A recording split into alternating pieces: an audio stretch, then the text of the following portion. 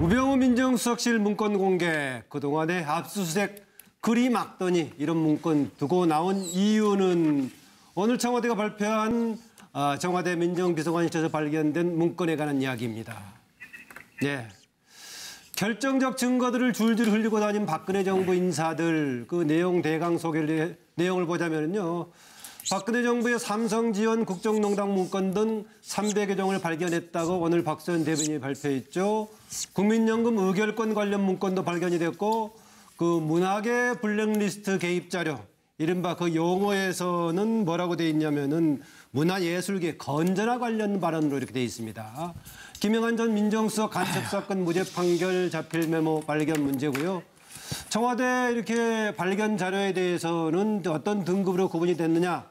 대통령 지정 기록물도 아니고 또 달리 비밀 등급 뭐 1, 2, 3등급이 있겠죠. 구분된 것이 아니어서 구분되기 전인지 아니면은 구분에 그냥 일반적인 공개 대상인지 아무것도 아닌지 분명치는 않습니다만은 비밀 등급이라든가 대통령 지정 기록물로 분리된 것은 아니다. 밑에 박근혜 전 대통령 나와 있네요. 또 뭐를 발견했어요? 또 우병우 전 민정수석 분명히 다 없애라고 했는데 우병우 전 수석이 공청에 나와가지고 그런 얘기했죠. 수첩은 다 없앤다, 파기한다. 뭐 이런 얘기까지 했었는데 이런 게 남아있던 얘기입니다. 박영수 특검 어, 지금 이제 공판 일정에 딱 맞춰가지고 이런 추가 증거 자료가 나와서 감사한 입장 아니겠냐 그런 겁니다. 그동안에 계속 나는 모르는 일이라고 했던데 김기춘 실장 여전히 나는 모르는 일입니다라고 할까 하고 지금 이제 판례를 그렇게 만들어 봤습니다. 예, 추가 자료를 조금 더 보여 질문은 이겁니다. 압수수색 그렇게 막던 우병우 민정수석실 300종에 달하는 자료는 왜 두고 나왔을까? 이런 질문입니다. 민정비서관실 공간을 재배치하던 중 7월 3일 한 캐비닛에서 이전 정부 민정비서관실에서 생산한 문건을 발견했습니다. 300종에 육박합니다. 자필 메모로 된 부분은 대통령 기록물로 볼 수 없다는 판단에서 일부 내용을 공개합니다. 문화예술계 건전화로 문화융성 기반 정비, 고 김영한 민정수석의 자필 메모로 보이는 자료도 있습니다. 지금 제가 보여드리는 것이 그 자필 메모입니다. 이들 자료는 소위 최순실 국정농단 사건과 관련돼 있는 것으로 판단됩니다. 관련 자료들이 이번에 발견됨에 따라 그 사본을 검찰에 제출할 예정입니다. 예, 이렇게 그동안에 압수수색도 두 번이나 가로막고 모든 문건을 파악했다고 하더니 300여 종에 달하는 이런 거 자료는 왜 두고 나왔을 까라는 질문인데요. 네, 이종구 실장. 네, 공무원은 두 종류가 있다고 하죠. 어공과 늘공이랍니다. 어쩌다 공무원 된 사람과 그 다음에 늘 공무원인 사람. 그런데 저는 오늘 이 300건의 일부 내용을 들여다봤더니 이번 어, 공판 그러니까 재판에서 결정적인 또 도움을 줄 수 있는 자료들이 있는 것 같아요. 그렇다면 예. 그렇게 그 이 파기를 했다고 하는 또 압수수색까지 거부하면서 그 이 자료들을 파기하려고 했는데도 불구하고 이것이 왜 남아 있을까? 예. 저는 늘공이 아니었을까? 어쩌다 공무원은 자신을 지키기 위해서 아마도 이런 아하. 자료를 다 파기했겠지만 늘공은 사실은 자신의 생명, 생존을 음. 위해서 자료를 또 어. 이렇게 갖고 있거나 혹은 자료를 연계시키려는 그런 늘공들이 있지 않을까 예. 하는 예. 그냥 조그마한 추측을 해봅니다. 네, 저는 언뜻 지 어공 늘공 나와서 혹시 공무원 직책이 익숙하지 않았던 어공의 실수일까 했더니 오히려 반대네요. 늘공이 오히려 의도적으로 남겼을 수도 있다 라는 얘기인데 그런데 왜 그거를 이제야 발견했을까라는 생각이 들기도 한데요. 어쨌든 간에 그렇게 압수수색까지 막고 모든 걸 폐기했다고 했던 청와대 이렇게 300여 종에 남겼을까? 고영식 교수님.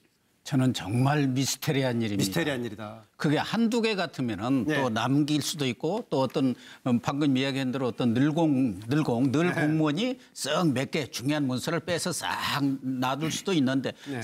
300종 아닙니까? 네. 그러면은 그것이 또 다, 른데 어디 무슨 창고 속에 있었던 것도 아니고 캐비넷에 있었다는 거 아닙니까? 그걸 네. 못볼 수가 없지 않습니까? 또그 어, 탄핵 기간 중에 또 대통령의 그런 기록물들이 전부 정리돼서 지금 옮겨가는 중이기 때문에 네. 문만 열어봐도 알 수 있는 일인데 그래서 임기 말 말하자면 대통령이 탄핵한 탄핵을 당한 이후 청와대의 어떤 공직 기강이 완전히 무너져 가지고 예. 나살 궁리만 하니까 다른 일은 난 몰라라. 그러니까 어, 우병우 수석도 아 그런 문제야. 저런 서류 넘기고 이렇게 이관하는 것들은 아마 밑에서 했겠지 하고 아마 방심을 한 거 아닌가 그런 생각도 들고 예. 저 내용을 뭐 자세히는 모르겠습니다만은 우병우 수석이라든가 민정수석실의 어, 관계자들이 혹시 이거 별 영향가 없는 자료니까 네. 뭐 어, 말하자면 비밀 도장 영향가가 있고 말하자면 어, 상당히 중요한 문서 같으면 비밀 도장들이 다 찍히거든요. 1급, 2급, 3급 뭐 해가지고 네. 그런데 지금 그런 도장도 하나도 없었다는 것을 보면은 어, 그 사람들 판단에서는 이건 뭐 크게 도움 안 되는 그런 자료라고 혹시 또 판단을 했는지 어쨌든 미스테리한 일입니다. 네, 별로 뭐 중요하지 않는 자리로 생각했을 수도 있겠다라 가능성을 했는데 보니까 여기는 심지어 그 세월호 가족 관련 대리기사 폭행 남부 지원에 했던 그러니까. 전략까지 들어있는데 굉장히 중요한 사안 같긴 합니다만은 오늘 새롭게 자리해온 양지열 변호사 어떻습니까? 지금 저는 누구냐 넌이라고 썼는데요. 예. 어차피 좀 지금. 상황에서는 예, 추측을 할 수밖에 없는 그런 상황이기도 하고 저는 불현듯 그 생각이 들더라고요. 혹시라도 일종의 내부 고발자 같은 사람이 아하. 이런 일을 꾸민 게 아닌가. 왜냐하면 왜냐하면 이정부 실장 비슷하네요. 예. 아, 왜냐하면 일부 뭐 이렇게 늘공이라고도 하셨지만 그 저는 실제로 이제 법조계에 있는 사람들 중에서 양심적으로 내 집 내야 될 자료가 있었을 때 네. 다른 문건과 섞어서 증거 자료를 쓱 수사기관에 내서 음.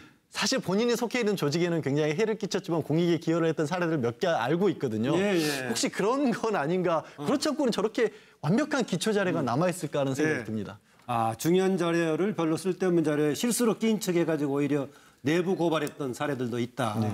그래서 혹시 이제 그런 사람 사례가 아니겠냐라는 얘기인데. 네, 이재경 교수의 표정이 진지하네요. 네. 예. 아, 예, 뭐, 다 앞서 말씀하신 분들 말씀에 일리가 있고요. 저는 이건 이제 그, 그때 상황을 잠깐만 들여다보면요. 예. 우병우 그 전 민정 수석이 2016년 작년 10월에 그만둬요. 그 후에 이제 최재경 검사가 민정수석을 잠깐 맡아요. 음, 예. 그리고 또 얼마 안 있다가 조대환 변호사로 그렇죠. 바뀌어요. 그러니까 이제 이미 우병우가 계속 있었으면 저거 그냥 안 뒀을 거예요. 예. 우병우 나오고 난 다음에 그러니까 권력 말기 증세를 보이는 거죠. 아하. 이미 뭐. 그러니까 제가 보기에는 그런 가운데서 기강이 문란했고 음. 아마 대충 대충 하고 제대로 정리를 안 했고 그런 가운데에서 이 부분 문서들에 대해서 뭐 일일이 살펴보면서 판단을 누가 했겠습니까? 음. 제가 보기에 이 문서는 어차피 우병우 전 민정수석이 있는 기간 동안 생산된 겁니다. 네. 민정비서관, 민정수석하면서 그렇기 때문에 우병우가 정리를 못하고 간 거죠. 그 후에 사람들이 이게 중요한지 안 한지를 어떻게 판별합니까? 네. 아하, 예. 그러니까 그래서 제가 볼 때는 또 탄핵 과정이 있고 하니까 말기 증세로 그냥 방치됐던 부분이다. 예. 그래서 지금 나온 거다. 저는 그렇게 뭐 그 얘기 듣고 보니까 국가안보실처럼 계속 현직을 유지하고 있었을 경우에는 이후에 가보니까 남아있는 자료가 아무것도 없더라 이런 얘기까지 했었죠. 그런데 마침 지금 지적한 대로 우병우 민정수석은 이미 그 국면에서는 그만뒀기 때문에 특별하게 꼼꼼, 꼼꼼하게 관리 못했다 이런 지적이 나오네요. 박상병 교수. 참 미스테리예요 정말. 나란히 두 분 앉아가지고 미스테리 똑같은 예, 얘기하시죠. 미스테리 쓰는 거 봤습니다. 저도 진짜 미스테리예요. 이게 방금 우리가 얘기했던 것처럼 누구 내부자에 의해서 아, 이 중단 사실을 국민에게 알려야지 했다고 얘기하면 저- 그 사람은 정말 양심적인 사람인 것 같아요. 예. 근데 그 얘기를 이렇게 했을까? 자료를 슬쩍 남겨두는 걸로. 그, 그렇게 주장하기도 조금 논리가 없어 보이고 오히려 전체적인 분위기를 보면은 사실 이때 지난해 말부터 박근혜 대통령 탄핵 직전까지만 청와대는 거의 내부 참모진이 붕괴된 상태였거든요. 예. 거의 붕괴된 상태. 또 우병호 전 수석도 거의 뭐 쫓겨나다시피 해서 검찰 수사를 받고 있는 상황이라고 얘기하면은 예. 저는 내부 기강이 거의 바닥에 와 있는, 사- 와 있는 상황 속에서 챙기지를 못했을 것 같다. 예. 아마 민정수석실뿐만 아니라 다른 수석실도 예외는 아닐 것 같아요. 그이 부분도 참- 다 없애라고 했는데 자료를 다 캐면서 다 통째로 들어갈 수는 없으니까 막 챙기다가 아 거기 챙기라 그랬는데 보니까 어 나오다 보니까는 깜빡 두고 왔어요. 예, 예. 아차 다시 들어가서 갖고 올라고 얘기하니까 뭐가 좀 문제가 있는 것 같아서 아차, 예. 굳이 내일도 아니니까 에이 모르겠다 하면서 여기까지 온 거 아니겠냐. 그래서 예. 아차 이렇게 저는 생각하고 있습니다. 아, 저거를 마치 통제할 수, 있- 통제하고자 할 또 할 필요성이 있었던 우병우 민정수석 또 김기춘 실장은 이미 자리를 나와버린 그렇죠. 상태였기 음, 때문에 정말 얘기한 대로 막판에 꼼꼼한 통제가 안 됐을 수도 있을 것 같습니다. 네, 차명진 전 의원. 그 이번에 최순실 사건에 관해서 우리가 가만히 들여다보면 중요한 결정적 자료 증거가 어디서 나와요? 사실은 가장 보안을 취급해서 그 내용들을 관리해야 될 사람들 예. 한테서 나오잖아요. 음, 어떤 것들이 있었지? 정호성 씨, 아하, 아. 안종범 씨.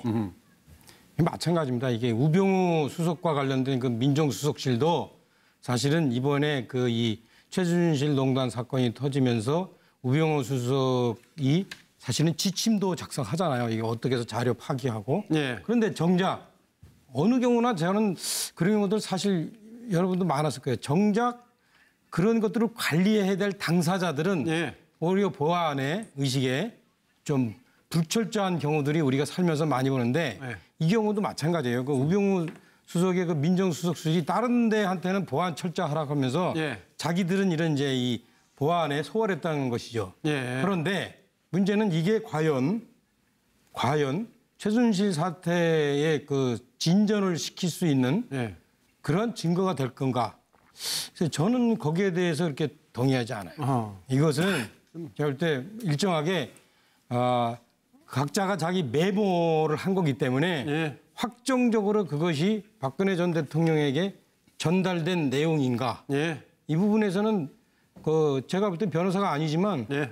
그건 아니라고 그, 되어지고요. 그 부분은 조금 이따 더 논의해 네, 보겠고요. 하여튼 그래서 예, 이 제 얘기는 왜 그 얘기를 하냐면 아마 이 분들이 예. 그이 부분에 대해서 철저하지 못했던 이유는 예. 물론 이게 다 이제 소각을 했어야 되겠지만 그런데 저 그림에 저 이명박이라고 써 있는 캐비넷에는 종이가 한 하나밖에. 없었잖아요, 그죠? 어떤 예. 거 하나죠? 뭐 하나 이명박 정부 때 하나 있다더만요. 큰거 예. 강도 있고 하던데요. 아닙니다. 하나 강은 있었어요. 아닌가요? 예. 예. 그다음에 이제 박근혜 정부 때 게 이제 대부분인데 이 캐비넷 속에 이 단서가 지금 나오고 있습니다. 예, 예. 그래서 이제 예, 청와대에서는 이것을 이제 주의 깊게 관찰하고 있지만 예. 과연 이게 쓰레기인지 단서일지는 두고 보자. 두고 봐야 됩니다. 저는 뭐 예. 결정적인 증거는 안 될 거라고 보여집니다. 예, 바로 그두 번째 질문이 그겁니다. 이렇게 300종이 발견됐는데 그 파장은 어떨까 좀 추가로 얘기를 나눠보도록 하겠습니다. 자료 역시 추가로 더 보겠습니다. 고 김영한 민정수석의 자필 메모로 보이는 자료도 있습니다. 지금 제가 보여드리는 것이 그 자필 메모입니다. 여기에는 일부 언론, 간첩 사건 무죄 판결, 전교조 국사 교과서 조직적 추진, 우익단체 연합적으로 전사들을 조직, 반대 선언 공표 등이 적혀 있습니다. 대리기 사건은 아마도 당시 세월호 유가족 대책위원회 대리기사 폭행 사건 관련 내용으로 보입니다. 이들 자료는 소위 최순실 국정농단 사건과 관련돼 있는 것으로 판단됩니다. 당초 박영수 특검팀은 전임 정부 민정수석실 압수수색을 시도했으나 무산된 바가 있습니다. 특검이 법원을 통해 민정수석실 등의 관련 자료에 대해 사실 조회를 한 바 있었으나 당시 거부됐습니다. 하지만 관련 자료들이 이번에 발견됨에 따라 그 사본을 검찰에 제출할 예정입니다. 사본은 대통령 기록물이 아닙니다. 이들 원본 자료는 국정기록비서관실에서 대통령 기록관으로 이관하는 절차를 오늘 밟을 예정입니다.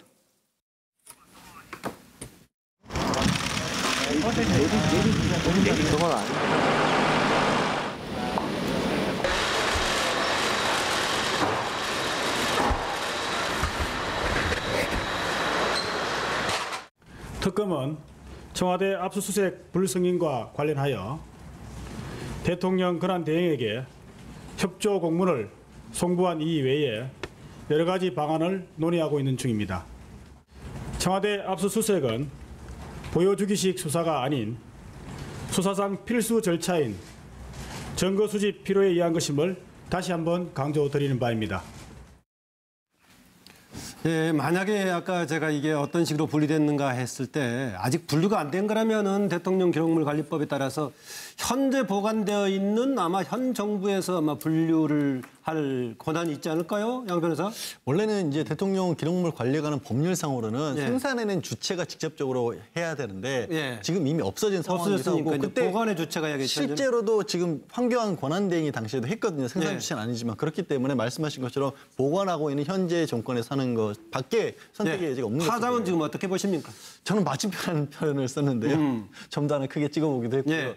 이게 일정을 두고 한 1년간에 걸쳐서 300여 건입니다. 예. 그리고 일종의 업무의 기초 자료 같은 형태로 작성이 된 것 같아요. 예. 그러니까 지금 안종범 전 수석의 수첩 같은 경우는 박 전 대통령이 불러준 거라서 지금 증거 능력이나 신빙성이나 내용에 관해서 다툼이 많은데 저거는 일종의 아주 러프, 아주 기초적인 사항의 지시와 앞으로 어떻게 할지를 적어놓은 거라서 그거를 적은 일자와 그 이후에 민정수석실 내진 청와대가 어떤 일을 했는지를 비교를 해보면 저거의 증거 가치 같은 것들이 바로 나올 수 있는 내용이 될것 아, 같아요. 그럼 안정범 수첩보다 이게 증거 능력이 강하다. 예, 더 셀것 같습니다. 아, 그렇게 보고 있군요. 네, 이재경 교수. 예, 저도 뭐 우리 양 변호사님 말씀처럼 이게 상당한 직간접적인 정황 증거로서 역할을 할 것이다라고 보여집니다. 그러니까 공식적으로 민정비서관실, 민정수석실에서 생산한 문건입니다. 그리고 저 기간이 우병우 민정비서관 때 시작돼요. 예. 그리고 우병우 민정수석 때. 묘하게도 기간이 우병우 재직 기간에 안에 들어 있습니다. 저 지금 문건 발견된 300건이. 그 저기 아마 오늘 공개한 내용은 제가 볼 때 어쩌면은 빙산의 일각을 공개했다. 저는 이렇게도 보고요. 예. 다 그렇게 지우고 압수수색을 거부했는데 발견된 게 저 정도면 파쇄시키거나 디가우징 한 거는 엄청난 것일 것이다라고 미루어 짐작도 가능하고요. 그래서 어쨌든 이 발견된 핵심적인 부분 뭐 이미 보도됐지만 삼성의 경영권 승계 문제를 기회로 활용하자는 얘기. 그다음에 블랙리스트 관련된 부분. 네. 보수 정권을 지지하는 쪽 그룹을 만들고 지원하자는 얘기. 그리고 세월호 유가족 대책과 관련 뭐, 이런 세 가지 부분은요. 바로 지금 국정농단의 핵심과 맞닿아 있고 재판과 연관이 돼 있지 않습니까? 시기적으로도 예. 그렇고. 그래서 저는 상당한 직간접적 그 정황 증거로서 작용할 거다. 네, 이종훈 실장.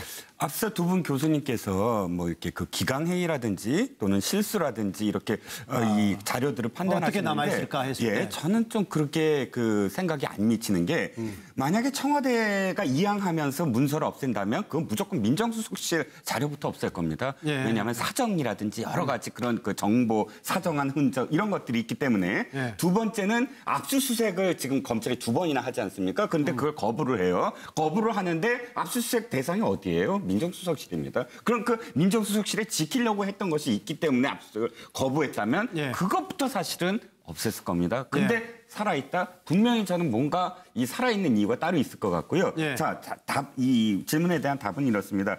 어, 어찌됐든 뭐 미스터리가 아니고 이건 이 세 가지가 지금 맞물려서 돌아가요. 첫 예. 번째 면세점 특허 조작했다고 감사원이 발표한 거. 예. 두 번째 바로 정유라가 이제 그 부, 이 불- 저 불리한 최순실의 불리한 증언을 하고 세 번째 오늘 청와대 캐비닛 발표가 일어납니다. 이 세 가지에 맞닿는 건 지금의 재판 과정에서 어찌됐든 최순실 박근혜 전 대통령의 재판의 하나의 turning point 이 세 가지가 한꺼번에 맞으면서 굉장히 큰 파장이 어, 시너지 서로 서로 서로 서로 시너지가 돼서 파장이 일 것이다 어쩔 수 없이 그런데 어떻게 이렇게 하루 이틀 사이에 예, 이게 예. 딱세 가지가 딱 맞물렸을까 그것도 참 기이합니다. 아, 얘기하신 대로 지금 추가로 지금 세 가지 요인이 생겼죠. 특히 이 면세점 특허 관련 조작 문제는 감사원에서 감사 결과 밝혀진 거고 청와대 발- 캐비넷에서 나온 지금 새로운 300여 종의 자료는 이번에 나온 거고요.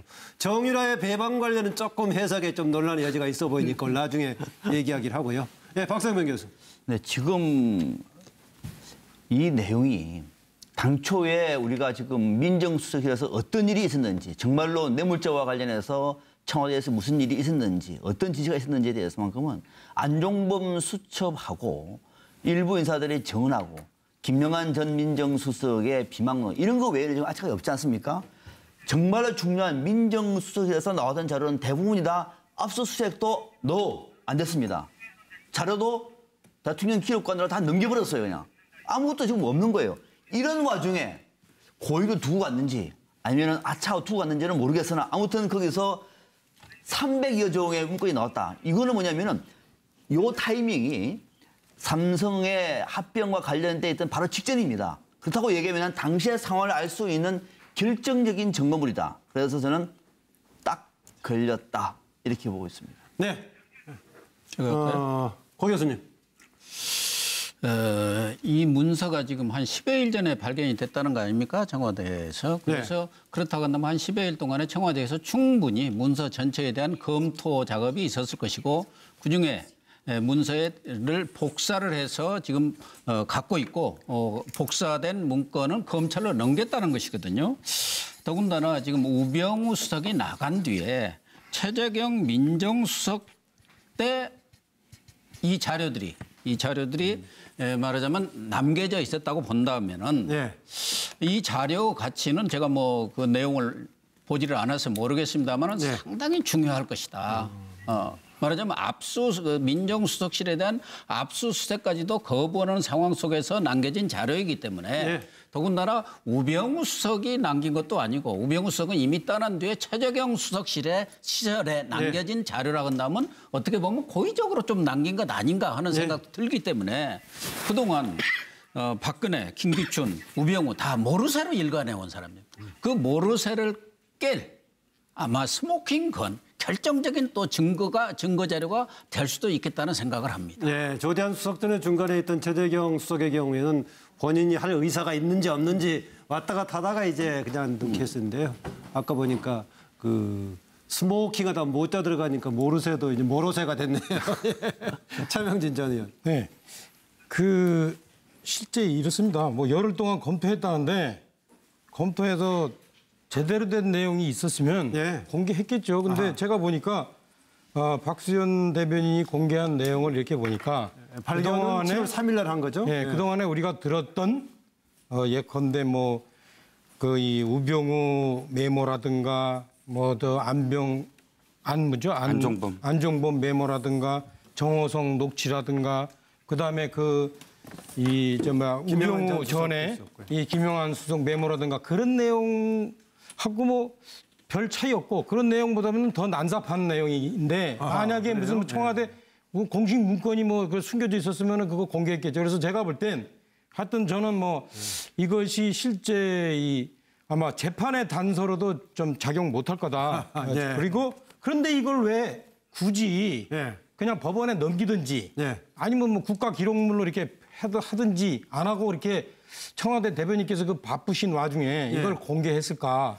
뭔가 좀 이게 최근에 불편한 이슈를 좀 덮으려는 예. 그런 게 있지 않나라고 저는 강하게 의심합니다. 아, 지금 그동안에 청와대 새 정부가 들어갔을 때 아무 자료가 없다고 문제를 제기했는데 새 자료가 발견됐으면은 당연히 이거 발표, 발표하고 또 지금 검찰의 재판하고 관련된 거면은 넘겨주는 게 맞지 않을까요, 차이? 아, 그냥 넘기면 되죠. 이걸 무슨 뭐 브리핑까지 합니까? 예. 아니 근데. 그런 게 발견되면요. 저게 나중에 뒷말이 나와요. 그뭐 발견했는데 그냥 놔두고 뭐 조용히 넘겼다. 이 조용히 넘어갈 일이 아니지 않습니까? 예. 어차피 넘겨 검찰에 넘겨주더라도 다 예. 검찰에서 알게 되고 기자들이 취재도 하게 되고 공개를 하게 예. 되겠어요. 그러니까 선제적으로 국민들에게 알 권리를 가지고 얘기를 해주는 게뭐 이상한 게 저는 아니요, 뭐. 저는 봤을 때 뭐 여러 가지 다양한 시각이 있는데 그 중에서 차명진 전 의원 뭐 이런 시각도 한번 가지고 생각해 볼 여지가 있는 거죠. 네. 있는 건데 뭐. 그 제가 제, 과연 제 시간을 그러냐라는 얘기했는데 건데요. 이것도 그거 가지고. 예. 미스테리한 일입니다. 예, 별로 뭐 중요하지 않는 자리로 생각했을 수도 있겠다라 가능성을 했는데 보니까 여기는 심지어 그 세월호 가족 관련 대리기사 폭행 남부 지원에 했던 그러니까. 전략까지 들어있는데 굉장히 중요한 사안 같긴 합니다만은 오늘 새롭게 자리온 양지열 변호사 어떻습니까? 지금 저는 누구냐 넌이라고 썼는데요. 예. 어차피 지금. 상황에서는 예, 추측을 할 수밖에 없는 그런 상황이기도 하고 저는 불현듯 그 생각이 들더라고요. 혹시라도 일종의 내부 고발자 같은 사람이 아하. 이런 일을 꾸민 게 아닌가. 왜냐하면 왜냐하면 이정부 실장 비슷하네요. 예. 아, 왜냐하면 일부 뭐 이렇게 늘공이라고도 하셨지만 그 저는 실제로 이제 법조계에 있는 사람들 중에서 양심적으로 내 집 내야 될 자료가 있었을 때 예. 다른 문건과 섞어서 증거 자료를 쓱 수사기관에 내서 음. 사실 본인이 속해 있는 조직에는 굉장히 해를 끼쳤지만 공익에 기여를 했던 사례들 몇 개 알고 있거든요. 예, 예. 혹시 그런 건 아닌가? 그렇지 않고는 저렇게 완벽한 기초 자료가 남아 있을까 하는 생각이 예. 듭니다. 아, 중요한 자료를 별로 쓸데없는 자료에 실수로 끼인 척해가지고 오히려 내부 고발했던 사례들도 있다. 그래서 혹시 이제 그런 사람 사례가 아니겠냐라는 얘기인데.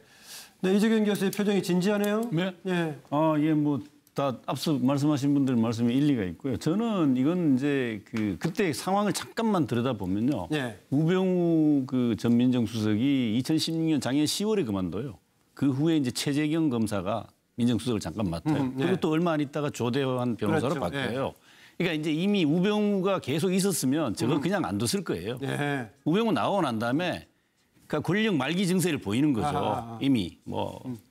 그러니까 제가 보기에는 그런 가운데서 기강이 문란했고 아마 대충 대충 하고 제대로 정리를 안 했고 그런 가운데에서 이 부분 문서들에 대해서 뭐 일일이 살펴보면서 판단을 누가 했겠습니까? 제가 보기에 이 문서는 어차피 우병우 자료는 왜 두고 나왔을까? 이런 질문입니다. 민정비서관실 공간을 재배치하던 중 7월 3일 한 캐비닛에서 이전 정부 민정비서관실에서 생산한 물- 문건을 발견했습니다. 300종에 육박합니다. 자필 메모로 된 부분은 대통령 기록물로 볼 수 없다는 판단에서 일부 내용을 공개합니다. 문화예술계 건전화로 문화융성 기반 정비, 고 김영한 민정수석의 자필 메모로 보이는 자료도 있습니다. 지금 제가 보여드리는 것이 그 자필 메모입니다. 이들 자료는 소위 최순실 국정농단 사건과 관련돼 있는 것으로 판단됩니다. 관련 자료들이 이번에 발견됨에 따라 그 사본을 검찰에 제출할 예정입니다. 예, 이렇게 그동안에 압수수색도 두 번이나 가로막고 모든 문건을 파악했다고 하더니 300여 종에 달하는 이런 거 자료는 왜 두고 나왔을 까라는 질문인데요. 네, 이종구 실장. 네, 공무원은 두 종류가 있다고 하죠. 어공과 늘공이랍니다. 어쩌다 공무원 된 사람과 그 다음에 늘 공무원인 사람. 그런데 저는 오늘 이 300건의 일부 내용을 들여다봤더니 이번 어, 공판 그러니까 재판에서 결정적인 또 도움을 줄 수 있는 자료들이 있는 것 같아요. 그렇다면 예. 그렇게 그 이 파기를 했다고 하는 또 압수수색까지 거부하면서 그 이 자료들을 파기하려고 했는데도 불구하고 이것이 왜 남아 있을까? 예. 저는 늘공이 아니었을까? 어쩌다 공무원은 자신을 지키기 위해서 아마도 이런 아하. 자료를 다 파기했겠지만 늘공은 사실은 자신의 생명, 생존을 음. 위해서 자료를 또 어. 이렇게 갖고 있거나 혹은 자료를 연계시키려는 그런 늘공들이 있지 않을까 예. 하는 그냥 조그마한 추측을 해봅니다. 네, 저는 언뜻 지금 어공 늘공 나와서 혹시 공무원 직책이 익숙하지 않았던 어공의 실수일까 했더니 오히려 반대네요. 늘공이 오히려 의도적으로 남겼을 수도 있다. 라는 얘기인데. 그런데 왜 그거를 이제야 발견했을까라는 생각이 들기도 한데요. 어쨌든 간에 그렇게 압수수색까지 막고 모든 걸 폐기했다고 했던 청와대 이렇게 300여 종에 남겼을까? 고영식 교수님. 저는 정말 미스테리한 일입니다. 미스테리한 일이다. 그게 한두 개 같으면은 네. 또 남길 수도 있고 또 어떤 음, 방금 이야기한 대로 어떤 늘공 늘공 늘 네. 공무원이 썩몇개 중요한 문서를 빼서 싹 놔둘 수도 있는데 네. 300종 아닙니까? 네. 그러면은 그것이 또 다, 다른데 어디 무슨 창고 속에 있었던 것도 아니고 캐비넷에 있었다는 거 아닙니까? 그걸 네. 못볼 수가 없지 않습니까? 또그 탄핵 기간 중에 또 대통령의 그런 기록물들이 전부 정리돼서 지금 옮겨가는 중이기 때문에 네. 문만 열어봐도 알 수 있는 일인데 그래서 임기 말 말하자면 대통령이 탄핵한 탄핵을 당한 이후 청와대의 어떤 공직 기강이 완전히 무너져 가지고 예. 나살 궁리만 하니까 다른 일은 난 몰라라. 그러니까 어, 우병우 수석도 아 그런 문제야. 저런 서류 넘기고 이렇게 이관하는 것들은 아마 밑에서 했겠지 하고 아마 방심을 한 거 아닌가 그런 생각도 들고 예. 제가 내용을 뭐 자세히는 모르겠습니다만은 우병우 수석이라든가 민정수석실의 어, 관계자들이 혹시 이거 별 영향가 없는 자료니까 네. 뭐 어, 말하자면 비밀 도장 영향가가 있고 말하자면 어, 상당히 중요한 문서 같으면 비밀 도장들이 다 찍히거든요. 1급, 2급, 3급 뭐 해가지고 네. 그런데 지금 그런 도장도 하나도 없었다는 것을 보면은 어, 그 사람들 판단에서는 이건 뭐 크게 도움 안 되는 그런 자료라고 혹시 또 판단을 했는지 어쨌든 우병우 민정수석실 문건 공개 그동안에 압수수색 그리 막더니 이런 문건 두고 나온 이유는 오늘 청와대가 발표한 아, 청와대 민정비서관실에서 발견된 문건에 관한 이야기입니다. 예. 결정적 증거들을 줄줄 흘리고 다닌 박근혜 정부 인사들 그 내용 대강 소개를 내용을 보자면요. 박근혜 정부의 삼성 지원 국정농단 문건 등 300여 종을 발견했다고 오늘 박수현 대변인이 발표했죠. 국민연금 의결권 관련 문건도 발견이 됐고 그 문학의 블랙리스트 개입 자료 이른바 그 용어에서는 뭐라고 돼 있냐면은 문화예술계 건전화 관련 발언으로 이렇게 돼 있습니다. 김영한 전 민정수석 간첩 사건 무죄 판결 자필 메모 발견 문제고요. 청와대 이렇게 발견 자료에 대해서는 어떤 등급으로 구분이 됐느냐? 대통령 지정 기록물도 아니고 또 달리 비밀 등급 뭐 1, 2, 3등급 있겠죠. 구분된 것이 아니어서 구분되기 전인지 아니면은 구분에 그냥 일반적인 공개 대상인지 아무것도 아닌지 분명치는 않습니다만은 비밀 등급이라든가 대통령 지정 기록물로 분리된 것은 아니다. 밑에 박근혜 전 대통령 나와 있네요. 또 뭐를 발견했어요? 또 우병우 전 민정수석 분명히 다 없애라고 했는데 우병우 전 수석이 에, 공청에 나와가지고 그런 얘기했죠. 수첩은 다 없앤다, 파기한다. 뭐 이런 얘기까지 했었는데 이런 게 남아있던 얘기입니다. 박영수 특검 어, 지금 이제 공판 일정에 딱 맞춰가지고 이런 추가 증거 자료가 나와서 감사한 입장 아니겠냐 그런 겁니다. 그동안에 계속 나는 모르는 일이라고 했던데 김기춘 실장 여전히 나는 모르는 일입니다라고 할까 하고 지금 이제 판례를 그렇게 만들어 봤습니다. 예, 추가 자료를 조금 더 보여 질문은 이겁니다. 압수수색 그렇게 막던 우병우 민정수석실 300종에 달하는 전 민정수석이 있는 기간 동안 생산된 겁니다. 네. 민정비서관, 민정수석하면서. 그렇기 때문에 우병우가 정리를 못하고 간 거죠. 그 후에 사람들이 이게 중요한지 안 한지를 어떻게 판별합니까? 아하, 예. 그러니까 그래서 제가 볼 때는 또 탄핵 과정이 있고 하니까 말기 증세로 그냥 방치됐던 부분이다. 예. 그래서 지금 나온 거다. 저는 그렇게 뭐 그 얘기 듣고 보니까 국가안보실처럼 계속 현직을 유지하고 있었을 경우에는 이후에 가보니까 남아있는 자료가 아무것도 없더라 이런 얘기까지 했었죠. 그런데 마침 지금 지적한 대로 우병우 민정수석은 이미 그 국면에서는 그만뒀기 때문에 특별하게 꼼꼼, 꼼꼼하게 관리 못했다 이런 지적이 나오네요. 박상병 교수. 참 미스테리예요, 정말. 나란히 두 분 앉아가지고 예. 미스테리 똑같은 예, 얘기하시죠. 미스테리 쓰는 거 봤습니다. 저도 진짜 미스테리예요. 이게 방금 우리가 얘기했던 것처럼 누구 내부자에 의해서 아, 이 중단 사실을 국민에게 알려야지 했다고 얘기하면 저- 그 사람은 정말 양심적인 사람인 것 같아요. 예. 근데 그 얘기를 이렇게 했을까? 자료를 슬쩍 남겨두는 걸로. 그, 그렇게 주장하기도 조금 논리가 없어 보이고 오히려 전체적인 분위기를 보면은 사실 이때 지난해 말부터 박근혜 대통령 탄핵 직전까지만 청와대는 거의 내부 참모진이 붕괴된 상태였거든요. 예. 거의 붕괴된 상태. 또 우병호 전 수석도 거의 뭐 쫓겨나다시피 해서 검찰 수사를 받고 있는 상황이라고 얘기하면은 예. 저는 내부 기강이 거의 바닥에 와 있는, 사- 와 있는 상황 속에서 챙기지를 못해서 것 같다. 예. 아마 민정수석실뿐만 아니라 다른 수석실도 예외는 아닐 것 같아요. 그이 부분도 챙- 다 없애라고 했는데 자료를 전부 다 캐내서 다 통째로 들어갈 수는 없으니까 막 챙기다가 아 거기 챙기라 그러는데 보니까 어 나오다 보니까는 깜빡 두고 왔어요. 예, 예. 아차 다시 들어가서 갖고 오려고 얘기하니까 뭐가 좀 문제가 있는 것 같아서 아차, 예. 굳이 내일도 아니니까 에이 모르겠다 하면서 여기까지 온 거 아니겠냐. 그래서 아차 이렇게 저는 생각하고 있습니다. 아, 저거를 마치 통제할 수, 있- 통제